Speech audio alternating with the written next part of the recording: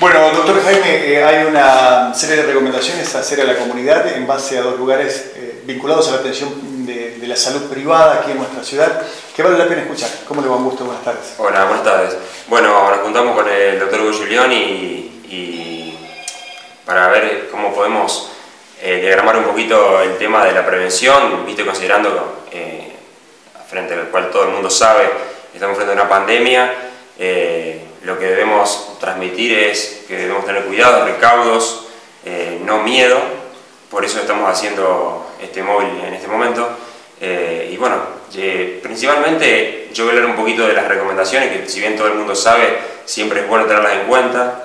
Eh, hay que evitar el tránsito por la ciudad lo menos posible, tratar de viajar lo menos posible o nada a las ciudades grandes para evitar la circulación de gente. Eh, el lavado de manos, que es lo que ya sabemos que todos debemos hacer, con jabón, eso elimina, elimina el virus, tener alcohol en gel. No es necesario que ande todo el mundo con barbijo, el barbijo lo tiene que usar fundamentalmente la persona que está enferma. ¿sí?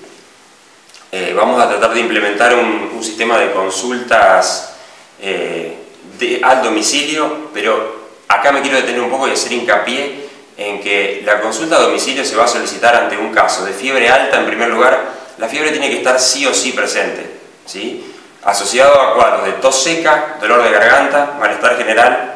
Y hay un cuarto, y este punto es el más importante, que si se agrega dificultad respiratoria, ahí es donde tenemos que abrir las, las alarmas. Y en ese caso debe consultar a una guardia de manera inmediata, siempre y cuando haya tenido contacto con una persona sospechosa de haber viajado a cualquier lugar en el extranjero en este momento, más allá de Italia, China, España, que son los países más neurálgicos, y Estados Unidos, hoy tenemos que tener cuidado con todos los países, eh, porque por eso es una pandemia a nivel mundial. En ese caso, tiene que ocurrir una guardia con dificultad respiratoria, con barbijo, con guantes, ¿sí? y acompañado de una sola persona, o pedir directamente un sistema de ambulancia a domicilio. Este es el caso, un caso, digamos, extremo, ¿no?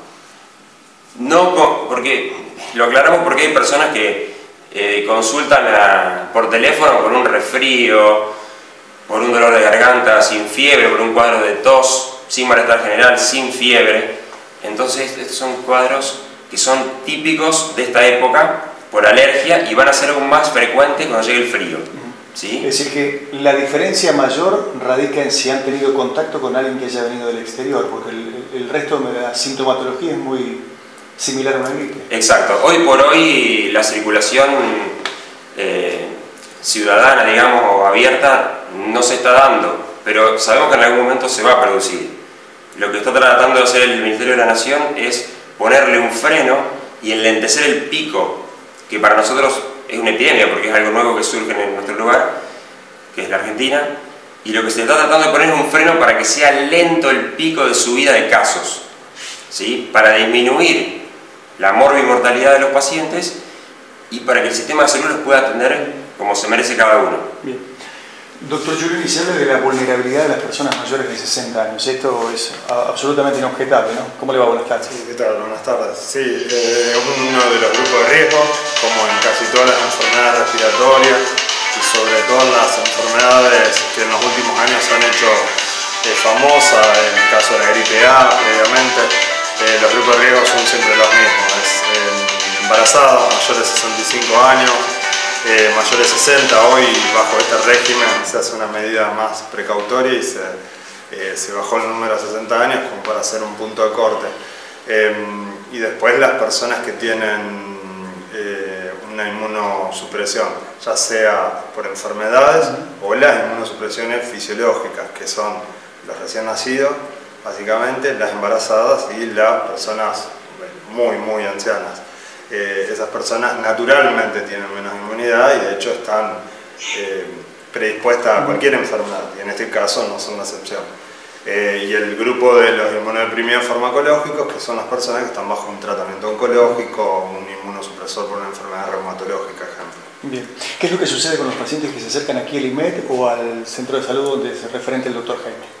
Bien, nosotros eh, tenemos algunas directivas del ministerio, de hecho el efector público sigue abierto, está pidiendo por ahí que la gente eh, se aglutinen lo menos posible, o sea que las consultas sean por enfermedad, no para controles, esa es una de las primeras medidas, tratar de, ser lo más coherente posible en eso, si estoy sano eh, pero me debía controlar, postergarlo, eh, posponer todo lo que sean estudios que pueden ser, exacto, que pueden ser pospuestos, cirugía electivas también posponerla, eh, y atender toda la urgencia o atender a la persona enferma. La persona enferma es la persona que actualmente está con una sintomatología y que tenemos que darle alguna respuesta hacia el clínico, el neurólogo, hacia cualquier disciplina. Eh, en el caso puntual nuestro vamos a seguir abiertos, por ahí pidiéndole a las personas mayores de 60 años que eh, eviten, salvo estar enfermas, los controles, los posterguen, se postergará un mes, dos meses, ya veremos cuánto cómo se va dando esto, pues de hecho esto es algo muy, muy nuevo para nosotros. Eh, y una otra de las medidas que hemos implementado es todos los turnos vamos a recibirlos solamente por teléfono, vía telefónica, es una manera de no congestionar la sala de espera, separar a los pacientes en la sala de espera una distancia mínimo de un metro, como para que eh, no haya casi contacto en las gotas de saliva, que es por lo que se transmite eh, la enfermedad también se transmite por contacto, pero bueno, una medida por lo menos eh, básica es mantener alejado y tratar de disminuir los tiempos de esperas. Eso es otra de las cosas, un hábito que nos vamos a tener que obligar a todos los médicos a tener mayor puntualidad y menos eh, aglomeración de gente en una sala de espera y, y, un cumplimiento mayor de los turnos que damos. Muy bien. Sí, bueno, quiero hacer hincapié, eh, que es lo que más me preocupa y, la peor parte de todo esto, que es la parte humana. Estamos teniendo un 35 o un 40% de gente que no cumple la cuarentena. Esto es, por eso quiero hacer un llamado a la conciencia y a la solidaridad de, todos. ¿no? Eh, es muy importante, es fundamental que las personas que han viajado a otros países respeten la cuarentena de manera perfecta, ¿sí? porque ese es el punto clave para que se disemine lo menos posible y que esta pandemia sea lo menos dañina en nuestro país. Así que bueno, esto es, es muy muy importante de, de cumplir. ¿sí?